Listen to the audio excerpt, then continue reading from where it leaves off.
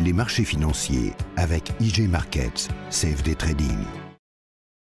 Bonjour à tous, lundi 20 juin, bienvenue pour le premier point bourse de cette semaine. On commence bien évidemment avec le CAC 40, puis un mot de l'action Renault, un mot du S&P 500 d'outre-Atlantique et enfin un mot de la parité euro-dollar. Les marchés actions européens sont parvenus à se reprendre la semaine passée sans toutefois parvenir à enrayer leur dynamique baissière.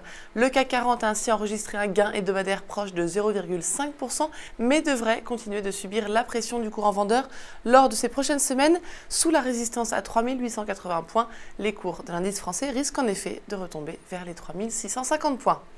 Et parmi les composantes du CAC 40, Renault a également rebondi après avoir testé son plus bas annuel à 35,60 euros.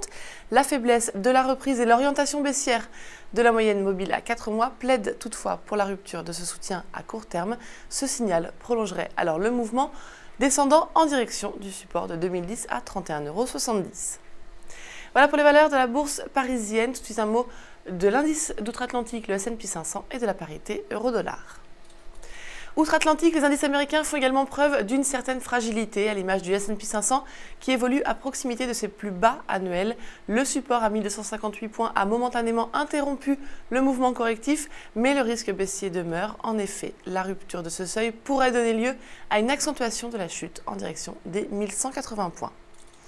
Et enfin, sur le Forex, la parité euro-dollar reste quant à elle relativement volatile, notamment en raison des doutes concernant la Grèce.